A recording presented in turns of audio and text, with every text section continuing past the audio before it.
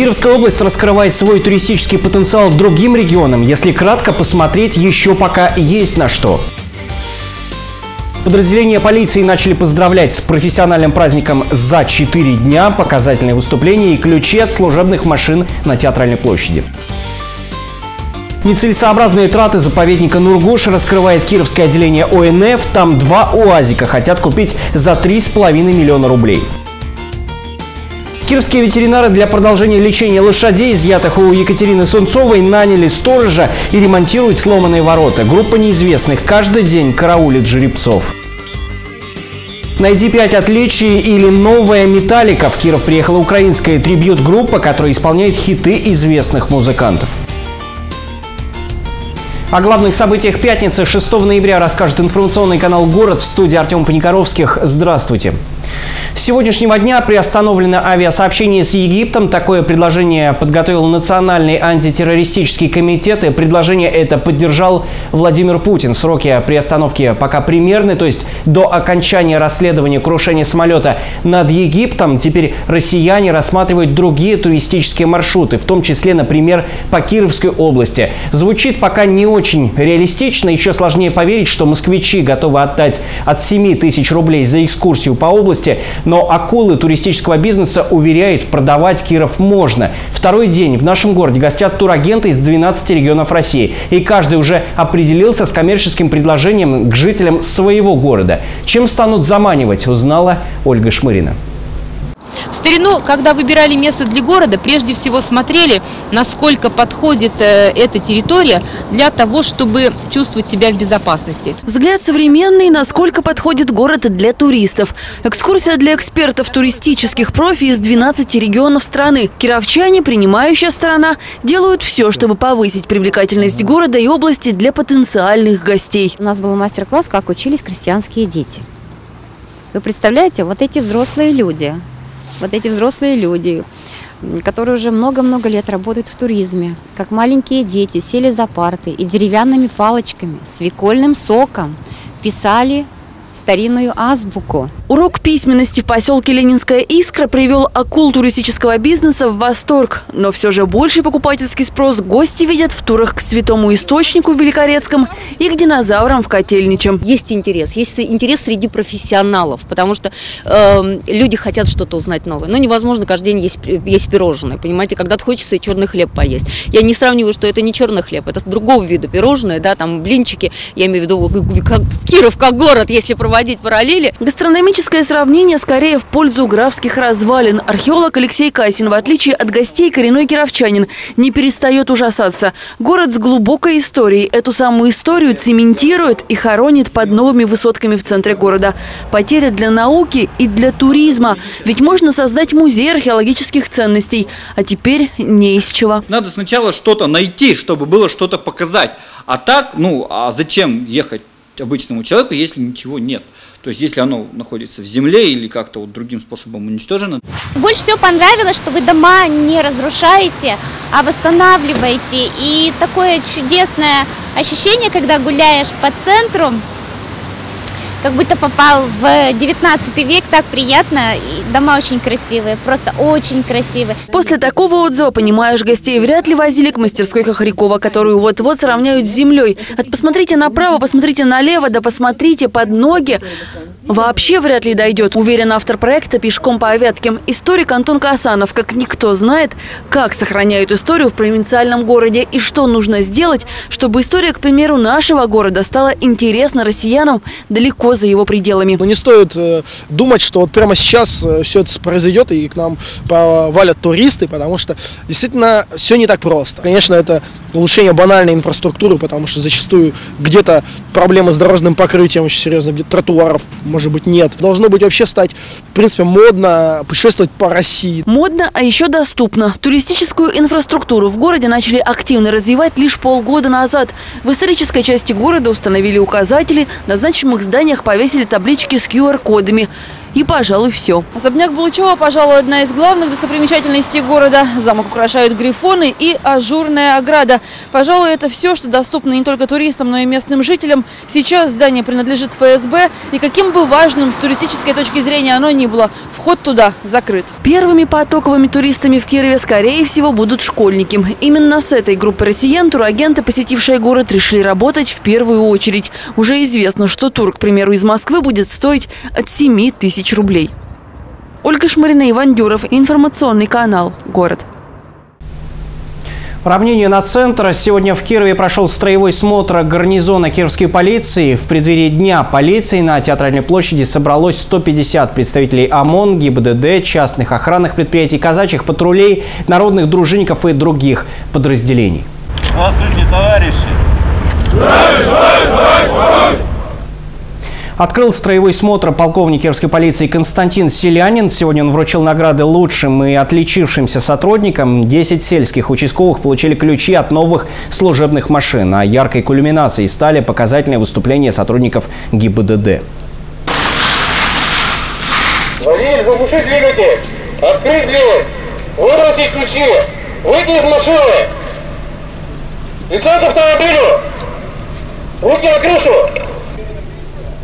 Автоинспекторы показали крутой разворот, использование шипов для остановки машины и захват преступников. После Константин Селянин пожелал всем хорошей службы, и сотрудники разошлись, чтобы приступить к работе. Сам день полиции они отпразднуют 10 ноября. Все трассы будут перекрыты. Российские дальнобойщики намерены протестовать против введения платы э, по федеральным дорогам. Автоинспектор готовится к возможной забастовке и кировских водителей. Подробности смотрите в нашей рубрике «Короткой строкой». По данным Центра занятости в области по сравнению с прошлым годом увеличилось число безработных почти на 12%. Сейчас таких 15 тысяч кировчан. Отметим, уже в следующем году Минэкономразвития ожидает снижения уровня безработицы следующем году на содержание дорог уйдет 1 миллиард 200 миллионов рублей. Такая сумма выделена Дорожному комитету Кировской области. На эти деньги планируется проведение ремонт по очистке дорог от снега, нанесение разметки, ямочный ремонт. А более серьезных ремонтов в этом списке нет. Город-администрация опубликовала прогноз социально-экономического развития Кирова на 2016 год. По данным властей, кировчан ждет стабильное развитие практически во всех направлениях. Впрочем, зарплаты бюджетников не вырастут, пенсии поднимут только на 4%, услуги ЖКХ подорожают на 5%. Из положительных тенденций средняя заработная плата, которая вырастет на 1910 рублей.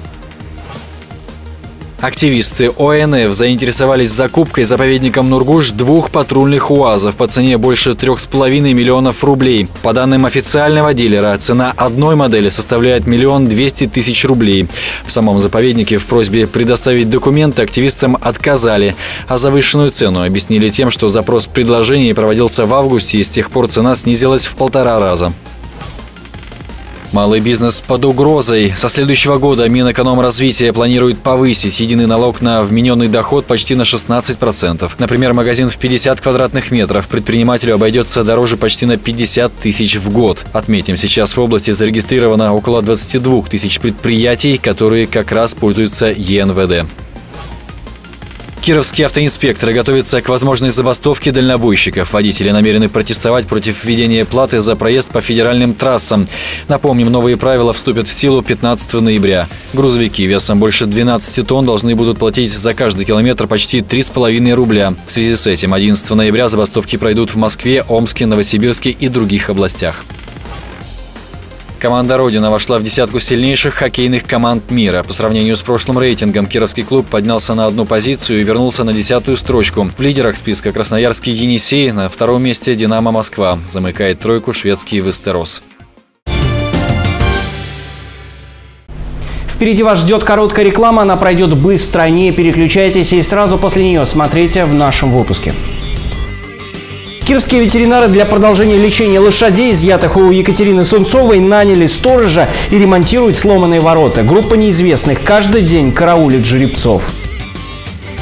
Шпионский боевик, драма, основанная на реальных событиях и история знаменитой коммунальной квартиры Покровских ворот, что покажет Первый городской в эти выходные.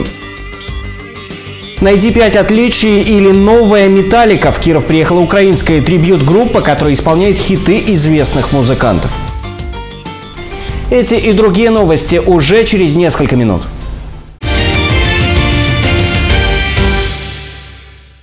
В эфире информационный канал «Город» и мы продолжаем. Кировские ветеринары для продолжения лечения лошадей, изъятых у Екатерины Солнцовой, наняли сторожа и ремонтируют сломанные ворота. По словам зоозащитников, группа неизвестных каждый день караулит жеребца Сережу и Славного у конюшни. Напомним, в конце октября в водоеме у Трифонова монастыря был обнаружен труп пони, а в конюшне находились четыре истощенные лошади. Полиция изъяла животных у владельцев и отдала на содержание волонтерам. С тех пор зоозащитников не оставляют в покое неизвестные люди. К активистам приходили мужчины и женщины, представились новыми владельцами, но после вызова полиции спешно удалились. Однако ночью в конюшне кто-то выломал дверь и снова попытался увести одну из лошадей. Волонтерам пришлось нанять охрану. Сейчас конь по кличке Славный по-прежнему не может самостоятельно самостоятельным встать. Зоозащитники придумали специальную систему подвеса, чтобы поднимать животные на ноги. У Славного начались проблемы с кишечником, его кормят небольшими порциями и продолжают делать капельницы. Остальные три лошади постепенно набирают вес. Сейчас активистам требуются деньги на операцию жеребца Сережи. Врач приедет во второй половине ноября. Примерная стоимость лечения 25 тысяч рублей. Все желающие помочь могут отправить средства по реквизитам, которые вы видите на своих экранах. На выходные кировчанам лучше ничего не планировать. Первый городской канал, как всегда, приготовил удобную, интересную программу передач. Два дня в эфире будут идти фильмы, однозначно достойные внимания. Самый актуальный шпионский боевик месяца «Человек ноября». Роль главного героя исполняет Пирс Броснан. По законам жанра экс-агент ЦРУ оказывается в эпицентре международной интриги. В разборке он ввязывается, естественно, не один. Роль прекрасной напарницы играет Ольга Куриленко, актриса и модель украинского происхождения. Вам звонят. Да? Алло? Слушай внимательно. Это женщина-киллер. Обернись. Я стою за дверью. Беги! Субботу зрители увидят драматическую историю, основанную на реальных событиях «Властелин любви». Кино об очень богатом человеке, который делал деньги на эротических клубах, очень откровенных журналах и недвижимости. Но могут ли миллионы сделать человека счастливым, увидите сами. Не пройдут эти выходные и без советского кинематографа герои Покровских ворот в субботу в 22.00, в который раз заставят зрителей смеяться. Главное, ничего не пропустить. Женщину тоже можно понять. Девушек водишь. Ей неприятно. Да не вожу я. Это другое. Об этом не говорят.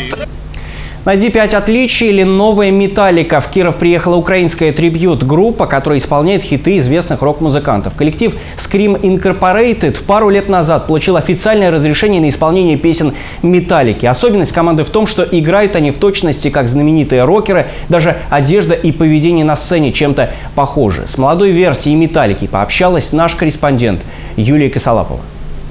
100 миллионов дисков. Именно столько группа «Металлика» продала за 30 лет работы. Теперь это коллектив «Легенда», которому посвящают памятные фильмы, рисуют шаржи, а некоторые музыканты даже пытаются петь их песни. Вот один из ярких примеров сейчас за моей спиной.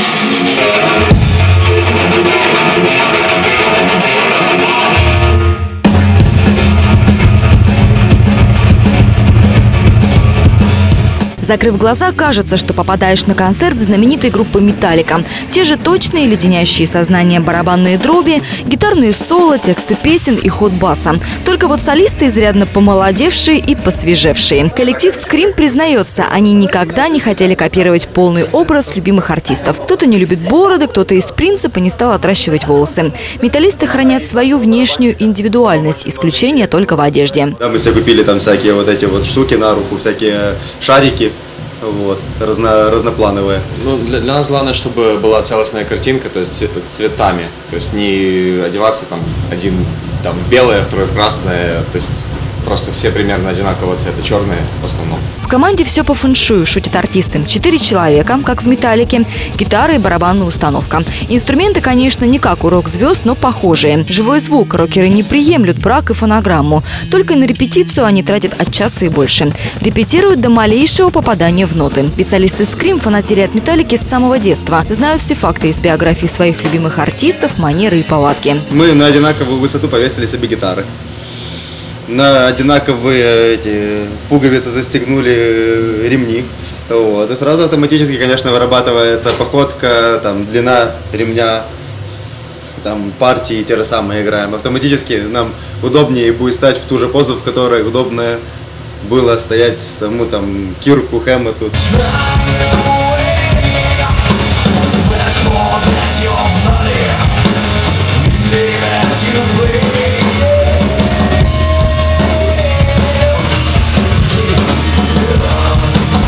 Первое время репетировали движения и пересматривали клипы. Сейчас все получается на автомате. «Скрим» – это трибьют-группа, что в переводе «дань уважения, коллективный дар». Исполнители как бы создают эффект присутствия легендарной группы, отдавая им при этом свою честь. За рубежом трибьют-артисты особенно популярны. Копируют Бритни Спирс, Мадонну, Дженнифер Лопес, Адриана Челентано и Мерлин Монро.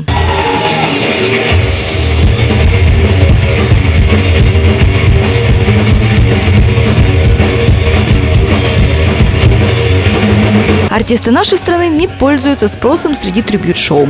Для того, чтобы стать двойниками «Металлики», украинскому коллективу «Скрим» пришлось выкупить права на исполнение песен. Удовольствие не из дешевых, но мечта детства исполнилась. До жизни на сцене они учились в институте. Андрей Максим – юрист, Михаил – инженер. Вживую своих кумиров видел только барабанщик. Мы не чувствуем себя звездами в данный момент. Может быть, там пройдет время, и мы такие, да, пыль придорожная, мы не будем с вами разговаривать. Да, но так пока что этого не происходит. В стиле металлики Scream Incorporated работает уже два года. К выбору композиции для концерта они подходят тщательно. Поют только хиты, чтобы слушатели могли подпевать. Сегодня у украинской команды тур по России. Коллектив признается, устали. Единственное, что заряжает и дает силы ехать дальше, это довольные слушатели. Юлия Косолапова, Александр Рожков, информационный канал «Город». В завершении выпуска прогноз погоды на выходные. С ним вас познакомит Алина Мозгова. Появление комаров в этот день – верный признак мягкой зимы. А большое скопление синиц около домов предвещает скорое приближение холодов. Так гласят народные приметы, а я вам расскажу о погоде на завтра. 7 ноября в Кирове ожидается пасмурная погода, небольшой дождь. Температура воздуха днем минус 2, ночью минус 3 градуса. Ветер западный 2 метра в секунду. Атмосферное давление составит 749 миллиметров ртутного столба. Удачной вам субботы!